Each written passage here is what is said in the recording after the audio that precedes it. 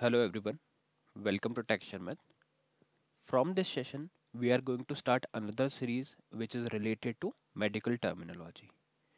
So this is very important topic for uh, in terms of medical coding, medical billing, and uh, especially in case of healthcare sector, right? Because if you are not able to understand the terminology, then we are not supposed to perform some operations on it, right? So this is the first and foremost requirement for learning about the medical coding that you should be aware of all the types of medical terminology that we use. In our previous session, we discussed about the basic structure like how the medical terminology is originated, what all components are there in the medical terminology. So those things we have already discussed, right? From this part means uh, we are going to start with the actual terminology that we will use or that you may encounter during your documentation. While reading some medical documentation you might uh, encounter with these terms. Okay?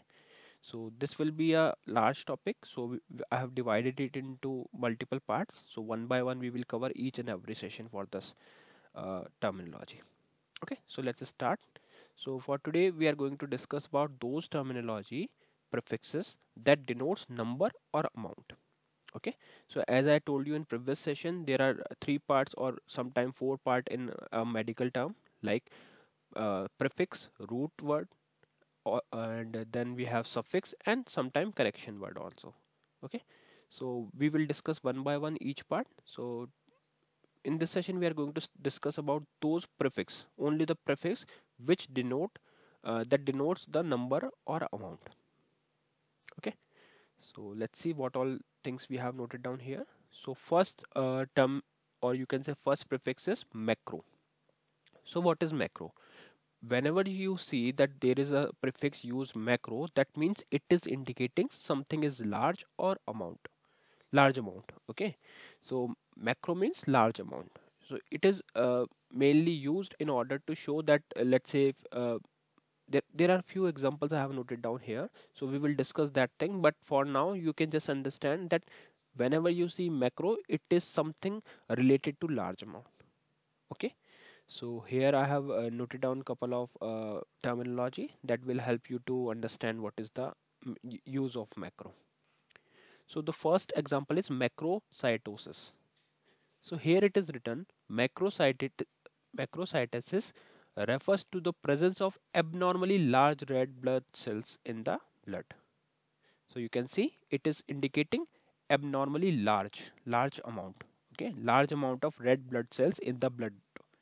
Then it is known as my macrocytosis. So here, if you focus on this entire term, there are macro is used as prefix, so which is indicating large red blood cells in the um, blood. Okay, this condition can be indicative of certain medical issues such as vitamin B12 deficiency or folate deficiency anemia. Okay. So in this term we, we got to know about that that yes macro is used and it is representing abnormally large red blood cells. So the word large is indicating by the prefix macro. Clear?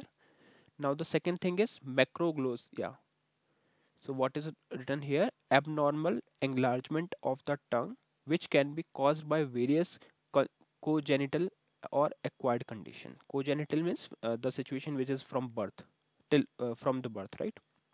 So here it is mentioned abnormally enlargement of the tongue. So enlargement is indicating large, large amount, right? So again we are using macroglossia where macro is representing uh, our large amount okay then we have third thing macroalbuminuria. Macroalbuminuria is a condition characterized by the presence of significant amount of albumin a protein in the urine.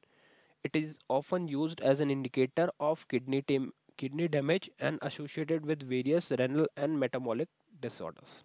So again this macro is indicating large you can see significant amount of albumin albumin. Albumin is a protein in the urine. It is often used as an indicator of kidney damage or can be associated with various renal and metabolic disorder. So these are the some example or you can say these are the some terms that is composed with the help of macro prefix. okay so macro is clear that it is representing something large. Whenever you see macro in any of the word you you can easily identify yes it is representing something large something related to large amount. Like here it is denoting large red blood cells. Here it is denoting large abnormal enlargement of the tongue. Here it is representing the significant amount of albumin. Okay? So this is how you will identify the terms which is initiated with macro prefix all right now let's focus on the next slide. Here we are using micro. So micro is just opposite of the macro. Micro means small amount macro means large amount okay? So let's see the few example here. First one is microcytosis. We have also discussed about macrocytosis. So there were large amount of red blood cells right? Here what is written here microcytosis is a condition characterized by the presence of abnormally small red blood cell so here the blood cells is red uh, small. So it might be a, interview question like uh, what what is the difference between macrocytosis and microcytosis? So from prefix itself you can answer yes it is denoting the small red blood cell and that macro is denoting the large red blood cells okay it is often associated with the disorder like iron deficiency anemia and thalassemia affecting the oxygen carrying capacity of the blood. Then we have microangiopathy. Microangiopathy refers to small vessel disease. So again it is representing small small vessel disease diseases particularly affecting the small small blood vessels. It is often associated with condition like diabetes mellitus and can lead the complications in organ and tissues due to impaired blood flow. So again micro is used to show something uh, as small amount small vessel disease okay? Then we have microalbuminuria again we have already discussed about the macro so it is just opposite. Microalbuminuria is a condition where small amount of albumin a protein are present in the urine. It can be an early indicator of kidney damage often associated with conditions such as diabetes or hypertension. Okay so from this itself we can identify yes it is representing something small amount. So uh, microalbuminuria or macroalbuminuria both are clear because now we know the meaning of prefix micro and micro. All right. Now focus on the third one. Third one is for hyper which is indicating higher or above normal or sometimes elevated. All the th terms are equal right? Same. Higher above normal or elevated. So let's view example of it. Hypertension. This is most commonly used term in medical terminology right? We know we heard that most of the time. Hypertension. What it means? Hypertension or high blood pressure is a medical condition where the force of blood against the walls of arteries is consistently too high so if you are indicating too high thing then for sure you are supposed to use the hyper term okay? It is significant risk factor of for cardiovascular disease and other health problems. So hypertension means uh, it is indicating something very high or above normal. High blood pressure we can say right? Then we have hyperthyroid thyroidism meaning hyperthyroidism is a condition in which in which the thyroid gland produces an excess of the thyroid hormones excess means high high above normal so again hyper is used for indicating higher thing this can result in an overreactive metabolism leading to symptoms such as weight loss, increased heart rate and nervousness. Okay. So this is how we can identify uh, the term hyper is used for high or above normal things. Then we have hyperglycemia meaning uh, hyperglycemia is a medical condition character, uh, characterized by the elevated level of glucose. So again as I told you that it is also indicating elevated levels of glucose sugar in the blood.